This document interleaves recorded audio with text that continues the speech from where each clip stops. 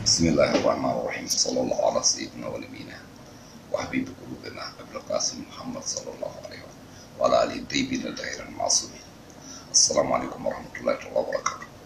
تو اش آه، بيان دي نفر ني شكر نجي بن دوكان متا شكر نجي تراتا بايم سول ممبرو أبو جالي تين مي نجي تراتا رانني كوما ني سنن كوما laraba na so in yi magana jiya kenan yau kuma alhamis ya zama dole in ƙara waɗansu bayani. Na ji an ce mahukuntar Najeriya sun bayan su bayanai wanda suka shirga karere ko dai a gazgata ne ko a gazgata gwamnatin Najeriya kan wannan lamari su abin da mu abin da muka su tun farko sun so su kai mu wani asibiti ne su da suke cewa mun mu kaza wannan asibiti. Sun su kafin mu zo sun shirya jirgin su na kashin kansu kuma suka ce za su kai mu wani asibiti mai suna Otis muka ce to ai ga wanda mu kaza ba suka ce ainihin ai su sun bincika sun ga wannan fortis din ya fi. To da mun yadda da fortis suka gani amma a nan abin da suke gaya mana mu ko suke gaya mu uku shine mu ka zaɓi wannan asibiti. Amma abin da suke gaya ma jami'an asibitin wanda kowane su abin da ya gaya mana kenan mu likitocin suna cewa gwamnatin ƙasan ku ce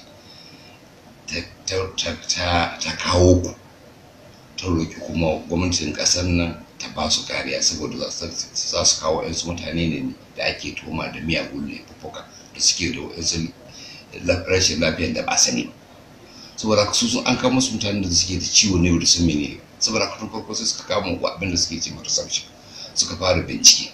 Su sai ke ce masu to ai wa'annan abubuwan da kuke tambaya kan mun riga mun hayyake wannan. Mu a wurin mu ainihin likitoci daban-daban a gida da waje sun dudduba mu sun tabbatar da cewa akwai mu da waɗansu har ma sun mana magunguna daban-daban tun shekara kusan huɗu da suka wuce ne sai yanzu ne aka gano tun ma ba dama can aka gano waɗansu abubuwan da ya kamata a fita waje saboda su. Kuma akan su muka fito. Mu mun ɗauka haka ne.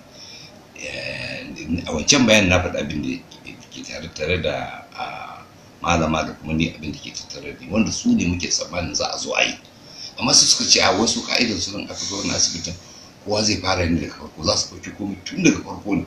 Domin kai ka zo asibiti domin kana da matsala ana kana da harsashi za a kwashe sai a ci maka a yanzu ba kana ciwo ne da ba san wani irin ciwo kake ko kuma kana da guba na led da academy sama a ce a ba san ba san ba san matsalar ke da ke damu ka ba. Ko kuma ka zo da matsalan cewa za a yi maka kokon gwiwa a ce sai sun amince ka tun farko. Alhali akwai takardu da bayanai na likitoci da suka yi zo suka yi bincike suka gano mai ke tattare da mu. In ma da wani waɗanda suka kawo cikas to su mutanen gwamnatin Najeriya ne. Ko da suka zo nan bayanan da muke ji wajen su daban bayan da su suke mana wanda suke hukumar daban saboda haka fahimtar mutanen asibitin nan shine gwamnatin najeriya ta za ta zo da kuma gwamnatin wannan asibitin da kuma gwamnatin india shine gwamnatin najeriya za ta kawo ɗansu mutane waɗanda ake tuhuma da miyagun laifuffuka domin a yi masu magani a india. Shi kenan magana.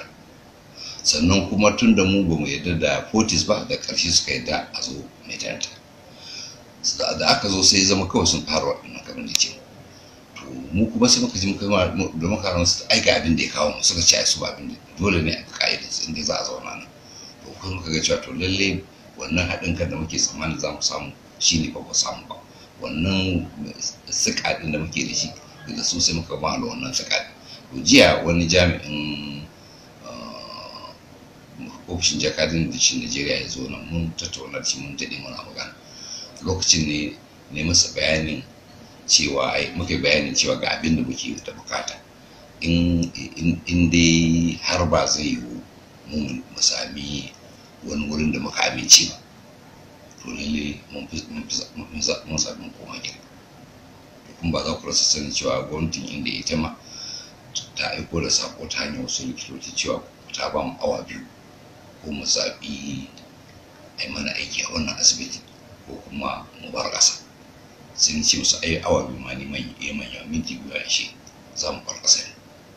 To kan ga shi yanzu daga wannan magana mun kusa awa ashirin da huɗu har yanzu dai ba su ba su ba su fita ƙasar da ba. Amma lalle in ba zai za a yi mana aiki a asibitin da muka amince ba likitocin da muka amince ba to lalle gara mu bar ƙasar albashi mu je wata ƙasa da za mu sami aiki daga likitocin da muka amince insha Allah.